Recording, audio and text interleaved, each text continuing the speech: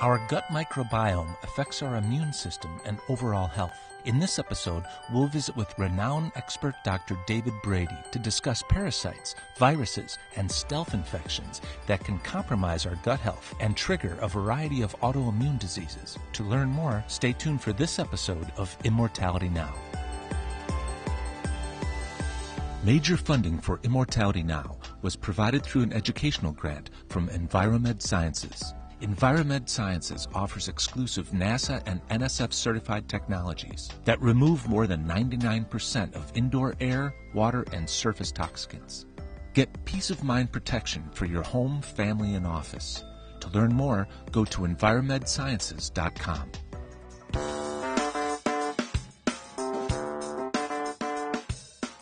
Hi, this is Dr. Klatz for Immortality Now, and I'm very happy to be with uh, Dr. Brady from the University of uh, Bridgeport.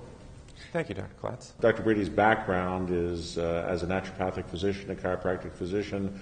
Uh, he's also uh, run, a scientist. He runs a uh, research laboratory, an educator. He's one of the speakers here, very uh, highly acknowledged speaker at the American Academy of Anti-Aging Medicine. And uh, we're going to talk about immunology and immunity. And I'm especially interested in the work you're doing on stealth infections. So maybe you could tell us a little bit more about that. Sure, thank you. Um, autoimmunity is a big passion of mine because we, we have a modern epidemic, basically, in autoimmunity, as you know. Uh, if you look even 100 years ago, the, the, the incidence of inflammatory bowel disease was about 1 in 10,000 people. Now it's about 1 in 250. And that's pretty much mirrored throughout all of the autoimmune diseases, no matter which you, you really look at. They're growing incredibly. And our genes aren't changing that quickly. The environment is, and the way we're dancing with the environment is. So more and more is emerging on what's driving this epidemic, and one of the things uh, appears to be pathogens, stealth, stealth infections with various types of pathogens, including bacteria, viruses, and others. A stealth infection, just stealth just means hidden. So it's an infection that a person may harbor, but they don't have obvious signs or symptoms like they would if they had an overt cold or flu or something uh, such as that. And if they have it, they don't generally know that they have it. But one of these organisms, whether it's a bacteria or a virus, uh, for instance, may actually change the way the immune system behaves. And if they have, some of the right characteristics in their structure, basically, and the proteins they express, it can look a whole lot like one of the proteins on our own tissue, whether it be your thyroid, uh, whether it be um, the uh, inflammatory or the uh, mucosa of the GI tract, or a joint structure for that matter. And if they look enough the same, the immune system can sort of get confused. It's trying to attack this virus or this bacteria that you have, but along the way, it starts locking into one of your own tissues and directing an immune response against your own thyroid or your own joints. And Dr. Brady, how would someone know that they have a stealth infection, or even their physician know? Because uh, you're right, they call it uh, stealth for a very good reason. Right. It's hard to find.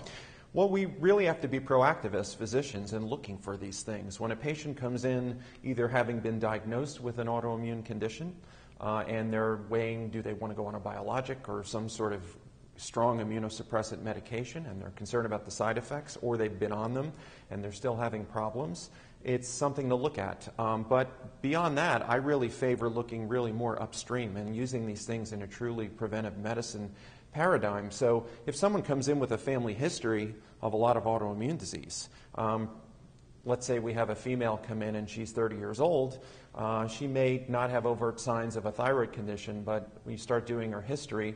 Her mother's on thyroid hormone replacement, her aunts are on thyroid hormone place, replacement, her older sister is.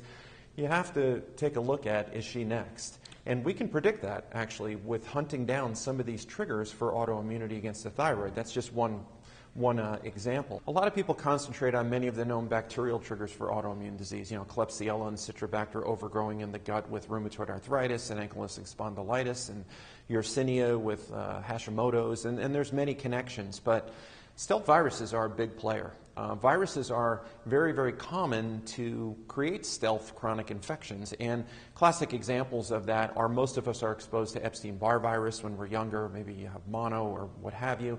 And our immune systems get it under control. They, they reduce and eliminate that acute infection that you know, you have symptoms and you're aware of, but you never really quite totally get rid of it. Same thing with cytomegalovirus. Why is that? Why can't we get rid of uh, uh, an early infection? Why must we suffer with it throughout life and usually uh, until late in life when our immune system fails and then mm-hmm. all of a mm-hmm. sudden these viruses come back with a vengeance? Well, I don't know that I have the answer to that. I'm not sure anybody really does, but there are certain types of viruses that tend to be a little bit immune to the immune system entirely eradicating them. We see that with varicella, you know, with many different types of viruses, herpes, for instance. But have many of those are encapsulated viruses. So they, they sort of have a stealth mechanism built in. When they bud out of our cells, after they infect the cell, they try to get out of the cell to infect another cell to replicate. And they drag some of our own tissue, the phospholipid uh, membrane of the cells, they cloak themselves in that. So they hide from the immune system. They're very, very tricky. Well, doctor, tell us the things that can be done on the part of the patient, such as uh, helping to improve their own natural biome, their own natural gut, and uh, things that you found in general are, are, are overall health uh, of the gut, and things that might have a benefit for longevity. Sure. And I really think it starts in youth. I mean, natural childbirth, uh, being exposed to organisms that we should share our environment with and learn to coexist with early.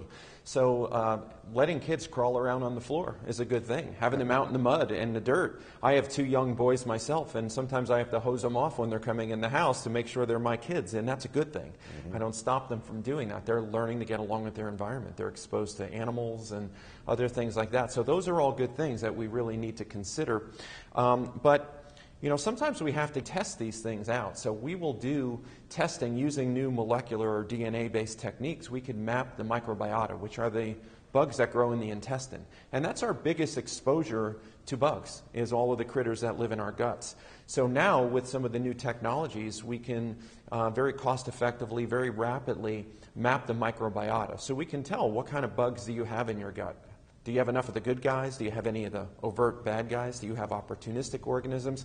But specifically, we know very specific organisms down to the genus and species, which are at least associated with the genesis of specific autoimmune diseases. And now we're actually starting to get causal data where certain organisms, there's actually a mechanism where it can actually tran- translate into the autoimmune disease itself. And what about parasites and parasitic infections of the gut? Yeah, we certainly look for those when we map the GI microbiota, and sometimes we're looking for ones that can cause problems and cause inflammatory bowel issues uh, and cause overt symptoms. But it, you can flip that the other way as well. There's been great work done by Joel Weinstock and many others looking into actually using parasites as therapy. We've eradicated many of the parasites with, with our modern hygiene, with you know water. Uh, uh, treatment and, and, just changing the environment that we live in. And we've eradicated many of these worm based or helminth organisms. And they've actually lived with us for a very long time. And one of the things they do to coexist with us is to secrete messengers that actually suppress our immune response in the gut. Mm-hmm. So over time, we've calibrated to that and we've upregulated our immune response to sort of strike a happy medium. However, if you rapidly pull the parasites out that have the suppressive effect, which has only happened in the last 50 to 100 years, now you're left with the human immune response in the gut dialed up too high.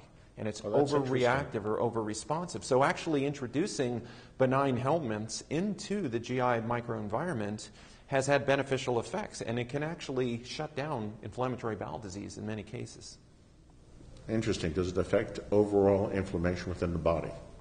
It certainly can if you have an inflammatory bowel condition, autoimmune driven, it's creating systemic inflammation. I mean, the worst of it is obviously in the intestinal environment, but uh, certainly if you treat that effectively, the person will be less inflammatory. Well, after all, this is Immortality Now, and I would be remiss if I didn't ask you, how long would you like to live?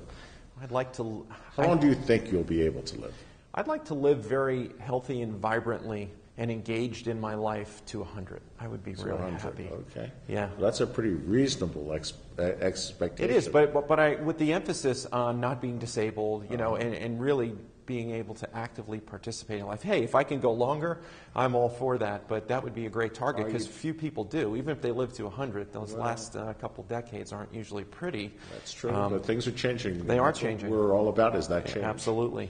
Now, what are you doing in your life and uh, in your clinical practice to accomplish that? What have you found to be robust and to be, you know, I'm not talking about exercise and Right. diet, I'm talking about something, something tangible. Well, you know, I'd, it's easy to, to look for the magic cure, right? The pills and the potions and the hormones and all, and they can all be important as part of the program. But I do fundamentally think that there's nothing more important you do to affect your health day in and day out than those than the foods you choose to put in your mouth, because it's those macro and micronutrients that dance with your genes that turn on or turn on or turn off the switches. And depends which switches they turn on and turn off, how we express our genome. So that's very, very important. I try to eat very clean. I try to eat whole foods. I try to not eat things that my immune system doesn't get along with. So I do testing. I look at how my white blood cells react to certain food triggers and to see which, which foods my immune system seems to like and which foods it does not. I stay away from the ones that uh, it does not like. I try to keep my gut very, very healthy and not have hyperpermeability or leaky gut, not have an inflammatory bowel. Um, and a lot of that is learning the foods that you resonate with and get along with. And just, you know, having fun, keeping it simple. I mean, I'm a very busy guy. I have multiple jobs. I, you know, have multiple roles. I have young kids. It can easily get overwhelming. But I always try to frame it up in the right way and do some centering things, you know, whether it's, you know, just something simple like guided imagery or just a little bit of a, you know, a stress mitigation uh, daily practice is always good. Keep moving, um, drink lots of water, good quality water, and it seems to work. Well, excellent. Dr. Brady, thank you. Thank you. And uh, for Immortality Now, I'm Dr. Ron Klatz at the A4M World Congress of Anti-Aging Medicine in Las Vegas, Nevada. Immortality Now is made possible through an educational grant from Enviromed Sciences. To learn more about how to get living water in your home or to get a free home toxicity test, visit enviromedsciences.com. Additional support was provided by Energy Development, better health through non-invasive technology. For more information, go to energydev.com.